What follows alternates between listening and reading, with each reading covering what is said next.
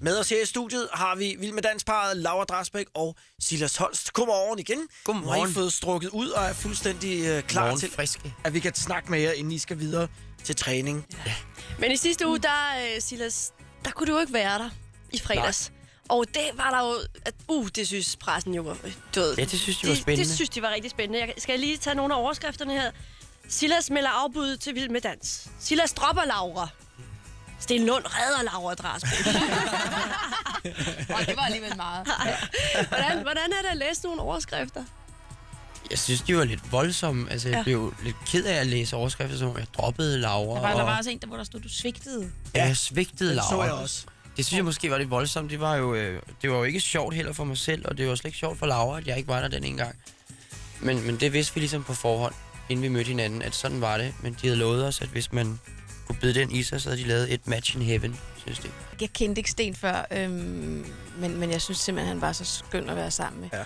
Og jeg synes, det var lidt svært, at der var en anden, men, men altså, ja, var det heller ikke. Nej, nej. I studiet er Silas Holst og Laura Drasbæk fuldstændig klar til kamp. Vi er blevet udstyret med en boy and girl. Nu stiller jeg jer spørgsmål, og så er det bare hurtigt sige...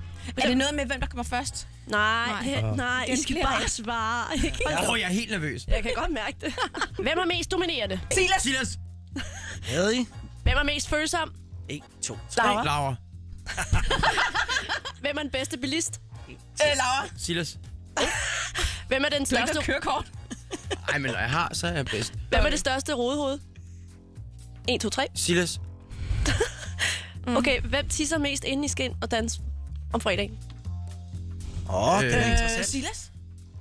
Fordi jeg ved, jeg aldrig tisser, for jeg ved, Ja, det, det er noget, mig. Men, men det var lidt snyd, for så ville jeg også have sagt mig lige efter før, hvor at, øh, jeg ikke havde noget svar, fordi jeg gik i sort. Så sagde du Laura, så. Ja, nu, nu går vi videre. Hvem spiser mest usundt? 1, Tre, 2, to, 3. Silas. Hvem er mest punktlig til træningstimerne? 1, 2, 3. Laura. Hvem er mest nervøs til afstemningen? 1, 2, 3. Laura. Silas. Ah. Hvem går mest op i det tøj, I skal have på? 1, 2, 3. Silas. Silas. Hvem har flest armmuskler? 1, 2, 3. Laura. Silas. Hvem har flest ritualer fredag aften, inden I skal ind på dansegulvet? 1, 2, 3. Silas. Silas. Sådan. Og øh, hvad er det for et ritual? Der er mange ritualer. Hvad er det vigtigste? Øhm, Ej, skal vi ikke fortsætte? Det var det vigtigste er, øh, jamen det er sådan en mærkelig dum øh, overtros ting, øh, som startede sidste år. Øh, så hver fredag sidste år, det er så overført til i år. Der er øh, alle de her sminkører, vi har, der er en bestemt af dem, der lige skal nå at sminke mig med en øh, puderkvast syv gange hen over ansigtet. Er det rigtigt? Ej, hvor er det neurotisk, Ja, Silas. det er det lidt. Det vidste du ikke, Laura? Nej, Nej. så kan jeg ikke at vide. Men der er nogle gange, hvis der kommer nogen med to vand til os, så skal han have den ene. Eller altså, der er sådan nogle tvangstanker, der kommer ind over. Du har ikke nogen tvangs- tvangstanker overhovedet? Nej. Inden? Nej, men jeg har faktisk det der med at tisse, der har jeg sådan, jeg ved, at nogle gange, hvis man bliver nervøs, så skal man tisse. Så derfor var der en dag, hvor jeg tænkte, "Nå, men det er bare, fordi jeg er nervøs. Og lige pludselig så opdagede jeg, at jeg ikke havde tisset siden om morgenen, og klokken var pludselig. 8 om aftenen. Og jeg havde hele tiden tænkt, "Nå, men det er bare noget, jeg tror. Fordi det er noget, man bare tror. Men nogle gange skal man jo rent faktisk også bare af med vandet.